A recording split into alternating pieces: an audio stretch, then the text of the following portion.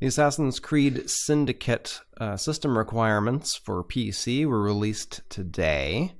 So, um, on the minimum, we need a Win- Windows 7 SP1 64 bit, or Windows 8.1 or Windows 10, an Intel Core i5 2400S at 2.5 GHz, or an AMD FX 6350 at 3.9 GHz, 6 GB of RAM, an NVIDIA GeForce GTX 660 or AMD Radeon R9 20, uh, 270.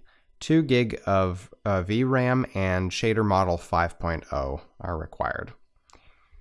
For the recommended specs, bump that to an Intel Core i7 3770 at 3.5 GHz or an AMD FX 8, 8350 at 4 GHz. For uh, 8 gigabytes of RAM, uh, NVIDIA GTX 760 or the newer 970 for, with 4 gigabytes of VRAM, or the AMD Radeon R9 280X with 3 gigabytes. You also need the DirectX June 2010 redist- redistributable, as well as 50 gigabytes of hard drive space.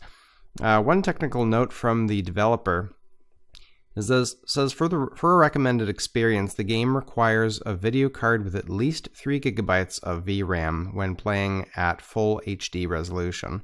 While we encourage you to fiddle with the advanced options to fully customize your gaming experience, please keep an eye out for the VRAM meter usage when you adjust these settings. So the game comes out on November 19th and it looks pretty good. So it's generally got good reviews and uh, I think GameSpot gave it 8 out of 10.